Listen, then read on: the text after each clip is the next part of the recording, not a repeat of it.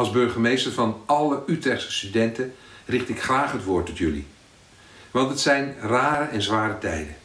Je gaat al weken niet meer naar de universiteit of hogeschool. Niet meer voetballen of volleyballen bij je club, met vrienden naar het café of je vereniging. Een aantal van jullie heeft geen bijbaantje meer. En een festival zit er deze hele zomer helaas niet in.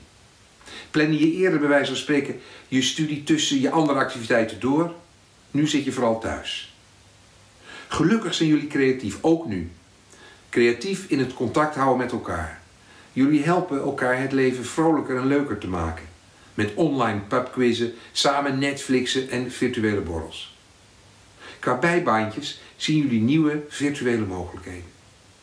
Die steun aan elkaar en creativiteit waardeer ik enorm. Ook live zoeken jullie elkaar graag op.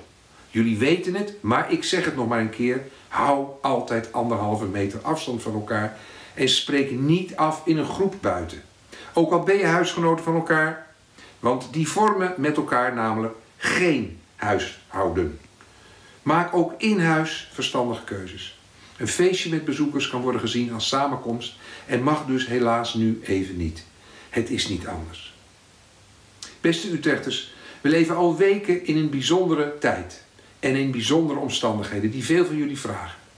In het belang van onze gezondheid en die van anderen houden we vol en zijn we sterk.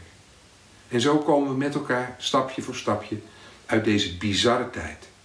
Ik wens jullie alle goeds en dank voor jullie begrip en geduld.